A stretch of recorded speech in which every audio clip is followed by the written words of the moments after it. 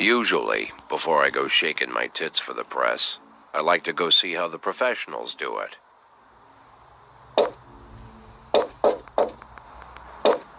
Some might say the chief of police has no business in an institution like this.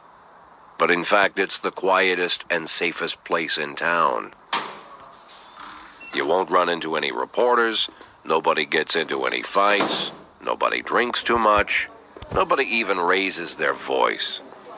The place is owned by an elderly gentleman who knows how to keep things under control. That's why I never invite my friends here. I wanted to make an exception for my 60th birthday, but most of my colleagues are young enough to be my sons, and they'd rather just hire prostitutes. Why stare at some boobs when you can take the whole package for yourself? But there's none of that in our club. Even looking too long is considered indecent. You can get an occasional glimpse, like by accident. The rest of the time, you just pretend that you're immersed in conversation, or just come by for a drink. Doesn't mean these gentlemen wouldn't want their bald heads smothered in tits. It's just that nobody says it out loud. My younger colleagues might call it hypocrisy, but I call it the good old-fashioned manners. Good manners and leave the rest unsaid. She agrees to unbutton her blouse, and we agree not to pay too much attention. The girls are on a quiet prowl, too. They're looking for a way out of their cramped rooms. Maybe make friends with some wealthy patron with a pacemaker and dentures. Everybody wants something. But we have to control ourselves, or we'll all turn into libertines and prostitutes. Hell, if there weren't any rules, I'd be belching and farting, jumping up on the table, arms held high, yelling, Shake it, baby!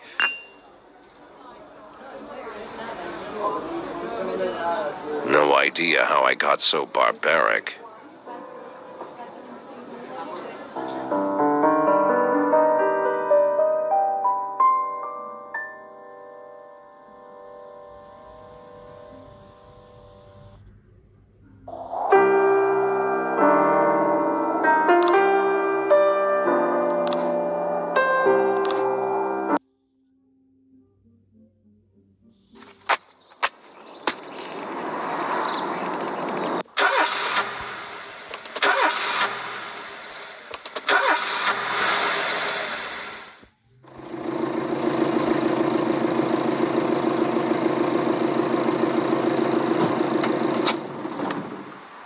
I was a kid, my father sometimes told me at bedtime that if I closed my eyes and didn't open them for a long time, all the demons would blow away.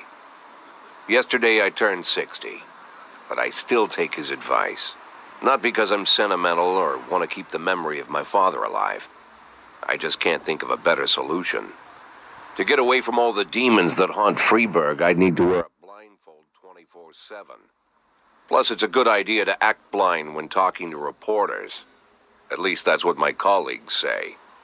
They're afraid of press conferences. But for me, it's more like a confessional. No matter what lies you tell, you're privately thinking the honest answers. It helps me remember who I am. The fact that I'll be reading all about it in the papers tomorrow is a small price to pay. Call it penance for the preacher.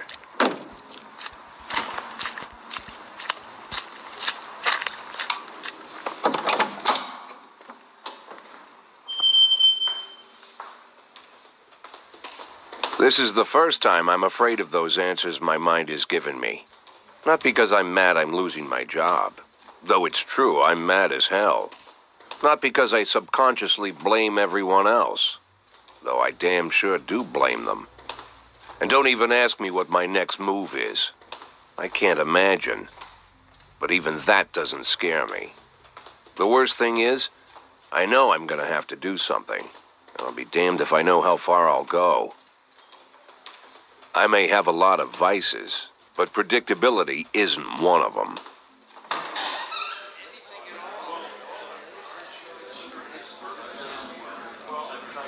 I learned a long time ago how to drive away the swarming demons. But what do you do when they're trying to rip your soul from your skin? Shutting my eyes tight as I can. The best solution remains the same play blind. I just hope the reporters think I was blinded by the camera flash.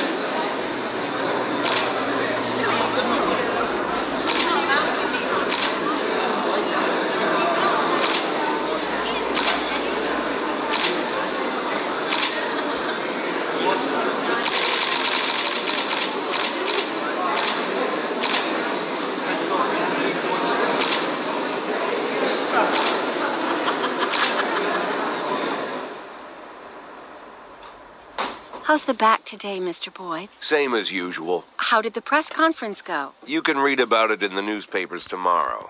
Don't let anyone in. Even Mr. Kendrick? Especially Mr. Kendrick.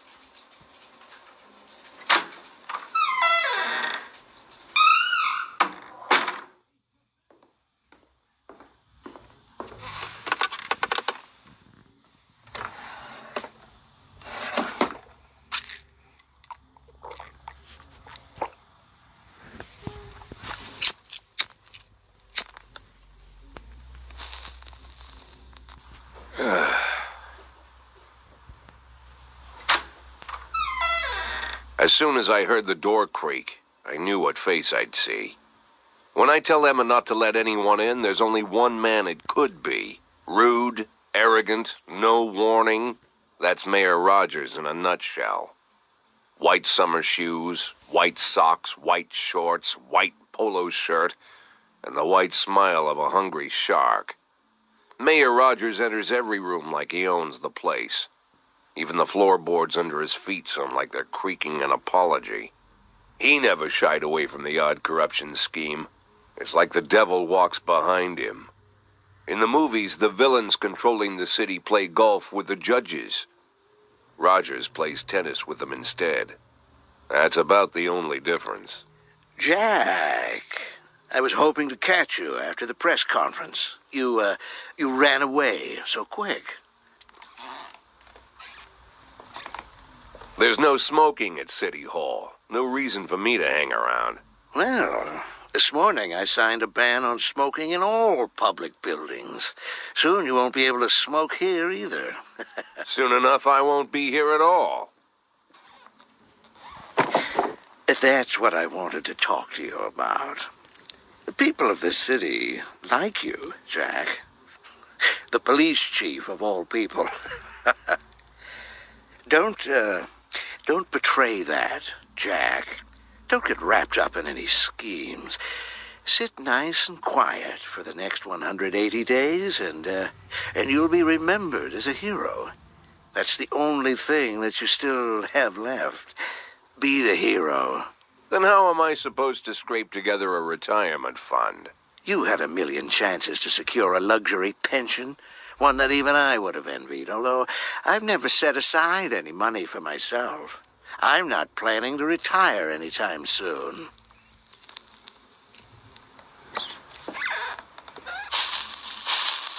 One hundred and eighty days of quiet, Jack. That's all I need. I don't have any problems with you, and you won't have any problems with me. I have a new assistant, Troy Starr. If you have something to tell me, call him. But try not to bother him. He's a he's a busy man. I'll do my best. And quit smoking up the office. One of my friends will be using it soon.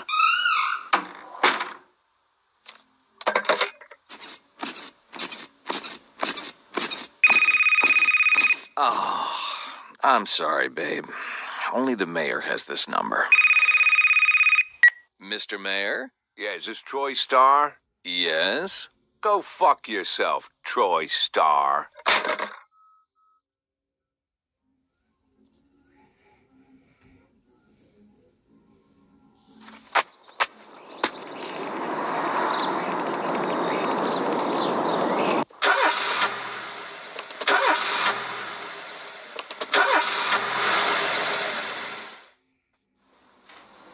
Cops don't use the police station cafeteria anymore. There's some kind of stigma against sitting shoulder to shoulder with your partners.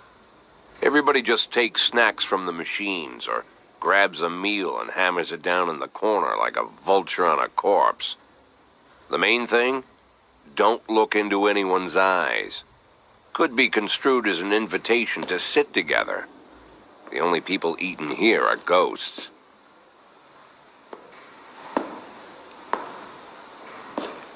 My deputy, Francis Kendrick. He recently became one of those ghosts. The subject of one of the most devastating corruption scandals in the history of Freeburg. No evidence to support the accusations, but everyone knows Kendrick's days are numbered. I need that file I asked for. Needs to be ready tonight. Francis didn't say anything, but I understood. Ghosts aren't supposed to talk. Besides, I got a feeling he was already finished.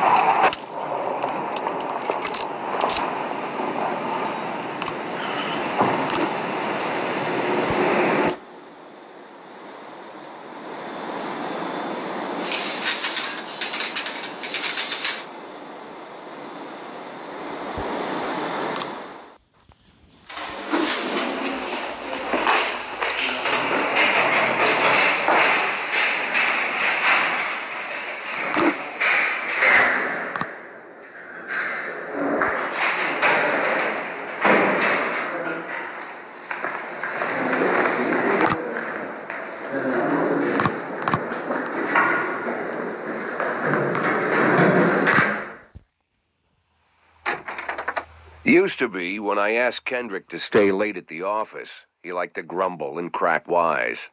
Nowadays, he doesn't have the strength for it. Slumped shoulders, blank stare, wrinkled skin. The past few weeks, I don't hardly recognize my old friend. In his younger years, he reminded me of a gallant royal officer in an old Kipling story.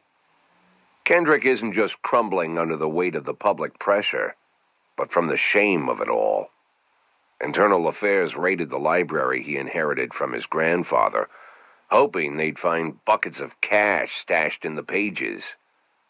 Heard about the look on his face, the fearless policeman standing helpless in horror. I've known Francis for 30 years. The past 20 years, he's played loose with the law. And I know that at a certain point, every stolen dollar brings more misery than anything else. Probably sounds crazy, but I sympathize with the guy. What can I do? Your friends are your friends, and these are the waters we swim in. Called all of the people on that list today. Now they know you're in business, so you could get a call from any of them. You don't need to worry about any of them. I've cleared them all. And what kind of business are we talking here? It's nothing too serious, just like you asked. Should be just a few small favors. Payments will vary depending on the situation and who you're dealing with. How much are you looking to earn? Half a million. Half a million? Why not a whole million? Because everybody wants to take a million. Figured I'd try something different. Half a million in 180 days? Well, you could earn it all above board if you netted all the big fish and hit all your bonuses. Never knew you for a fisherman. Well, you never got into my business, and I'm not trying to get into yours. But be careful about bringing in any other cops. Sooner or later, they'll put the finger on you. And and one more thing, Jack. I remember what you said, but I should probably add one more name to that list. Christopher Sand. Sand. Christopher G. Sand. Everyone knows the name, but few could tell you who he is. The old man stays away from the spotlight. Always wears old-fashioned jeans and knitted sweaters. Gives to charity. Rarely attends social events. An avid hunter, I hear. Even dabbles in poetry. You'd never guess he's the head of the oldest and most powerful gang in the city. Goes back as far as his great-grandfather and Sand is strict about following the old rules. He rarely involves himself in commonplace murders and robberies. Hardly needs to intimidate anyone to get his point across. The people who work for him each have their sphere. They provide protection where needed, even work with the authorities when they want to make a deal. Meanwhile, Sand pulls the strings without getting his hands dirty. People sometimes mistake his quiet approach a couple years ago, an arms dealer decided to expand its business without asking permission, and his whole family paid the price. In four weeks, Sand killed 31 people old men, women, even a few teenagers. And Sand's people made sure every paper reported it. Frank, I don't want to hear you say that name again. Jack, please, listen to me. I'm in with these guys. We agreed, Frank. That's not the kind of business I'm into. I don't go there. Never have, never will.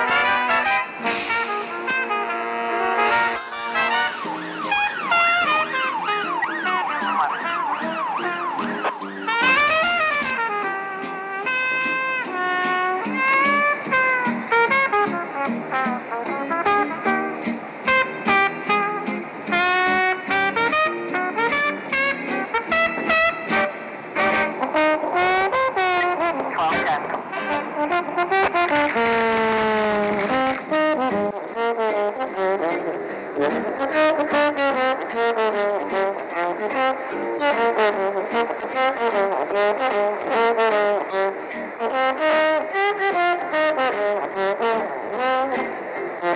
progress.